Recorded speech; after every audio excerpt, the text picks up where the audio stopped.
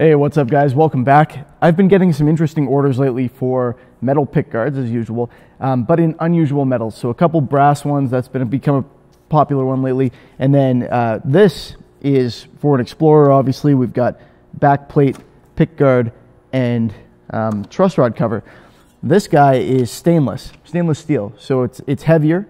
We've put an interesting brushing pattern in it here and the client, the, the customer wants it a little brighter. So we've also done some beveling on it. I'll show you guys how I did that. Very difficult actually and time consuming with stainless. Um, but yeah, countersunk, beveled, ready to go. Different hole size than usual for this guy because it's a custom order. Only thing left to do is, yeah, brighten this up, make this brushing look brighter. And this is a balancing act on this particular one because you know, if you brighten it up too much, it's going to look polished. We're looking for a brush finish, but a bright brush finish, brighter than what we've got here. Um, so what we're going to use is a couple of Jescar products, Jescar Paste 16 and 2L. We're going to test them out on the back of this because that's against the guitar, so that's not a problem. Doesn't really matter how that looks, but we're going to see how much they brighten it up, and then we'll use the appropriate thing, probably a low abrasive pad to do this on the front. We'll test it on the back first, try it on the front. These are available if you're looking for them through Solo Music Gear. Uh, you can get them there. As most of you already know, I have an affiliate link in the description, the Solo, the Solo Music Gear link down there. Um, if you buy something through there, helps me out. And then these are available on Amazon. You can find them in the Amazon link in the description if you want. So that's enough talking, I think. Let's get to work on finishing this up, and then I'll show you guys what it looks like, and I'll get it shipped off to the guy who bought it. Let's get after it. So before we play around with the finish on this, let's jump back in time a little bit and I can show you a bit about how this was made. First off, this thing was cut on a water jet cutter. That's you need something like that to be able to cut stainless steel. It's a very hard material, so that's one of the few things that does a decent job. This piece came with a cover on it. You can see a plastic sheet, so it's it's got that white cover, which is nice.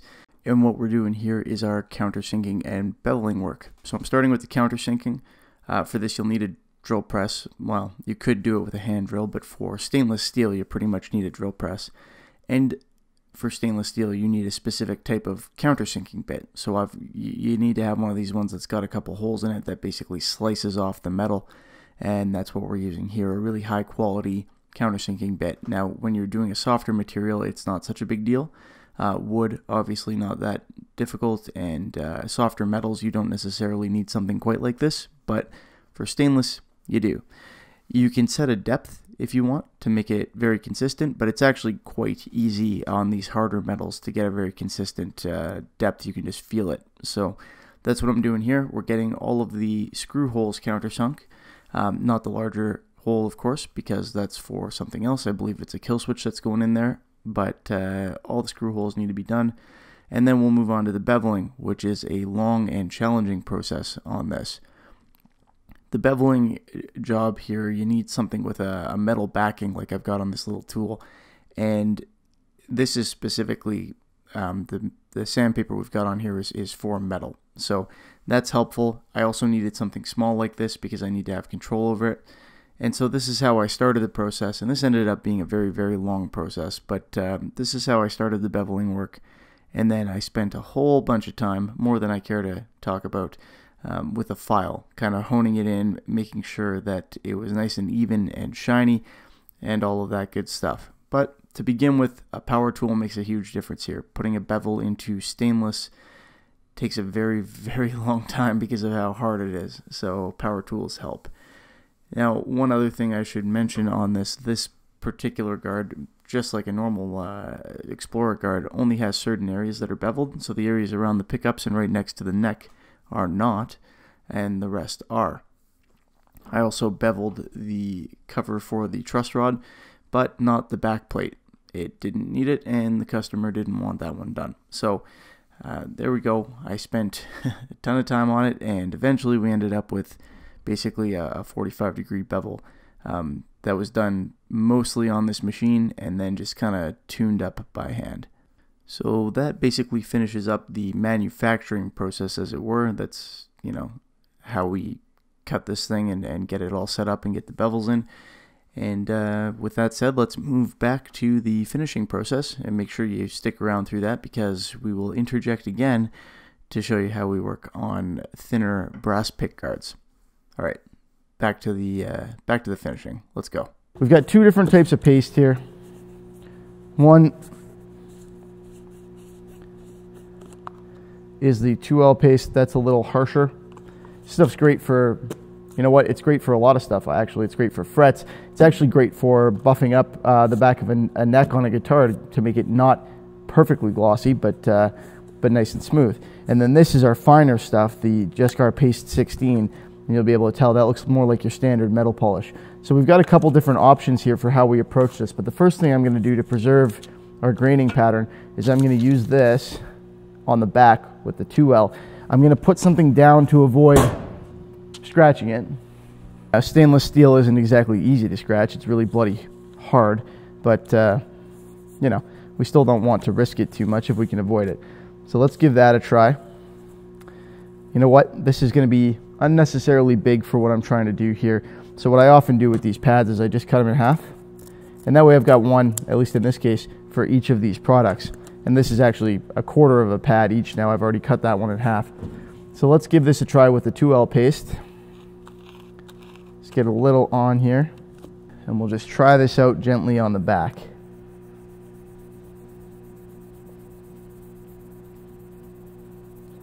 So if I do that, being careful to be in a straight line, you can see that it turns black. That's how you know it is polishing. Now I'm gonna need to wipe it off, obviously, but what I wanna avoid is polishing it a bunch more when I wipe it off. That's part of why I'm using that pad. I don't want just a really, really shiny surface here. Let's see what we've got.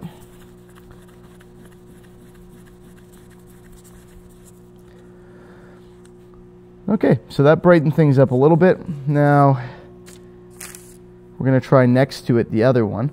We'll test those out, and then we might try using the other one, the 16, on top of the 2L once I've compared the two. These are unfortunately a bit cold. It's kind of chilly here. And they were in my garage.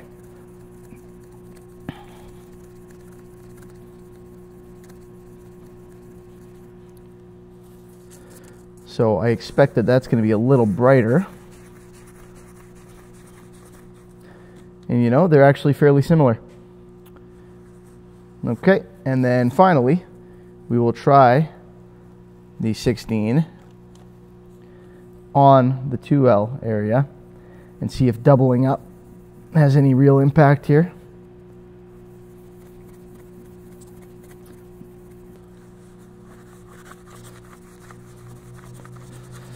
Pretty minor.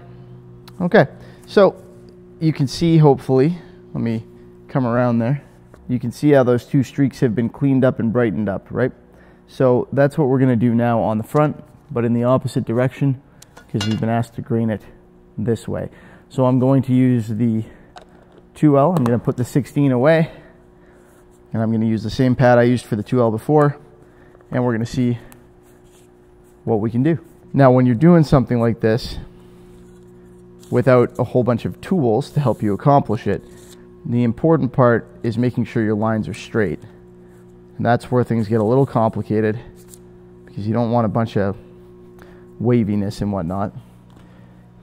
This, honestly, I've been doing on various items for a very long time, so kind of got some practice on it, luckily. But I like to work directly away from myself because if I go side to side, I tend to put a curve in things, do a little banana pattern.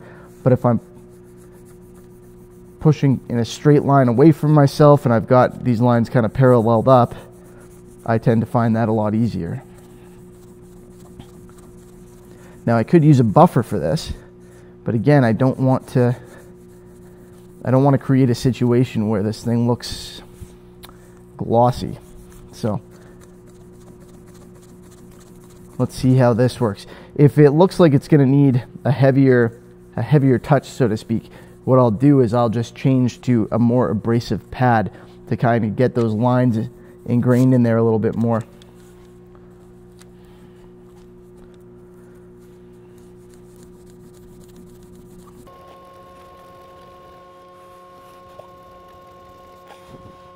Okay working.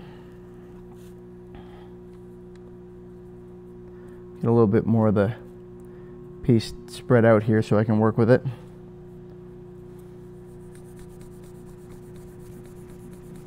You got to move over a little bit at a time, as you'll see me doing here. Not like work your way along because then you'll get a zigzag pattern. So you work, just do a little bit at a time.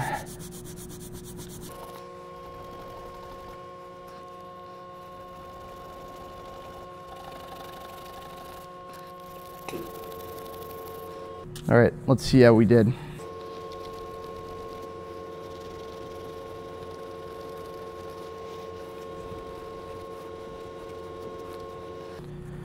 There we go. That's looking that's looking pretty shiny now. See how it compares to the other side. Yeah, with the green pattern, that's looking pretty good. Definitely shinier than the old one. Alrighty, so I'm going to do the, this on the other two, and then we'll take another look at this.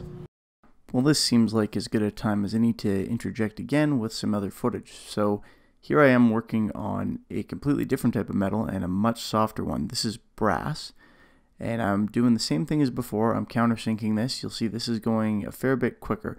This is also a thinner guard, all right? The stainless steel, um, we were going with the thicker option because we needed the bevels and everything, but to do that on brass gets very, very expensive. Thicker pieces of brass are quite pricey.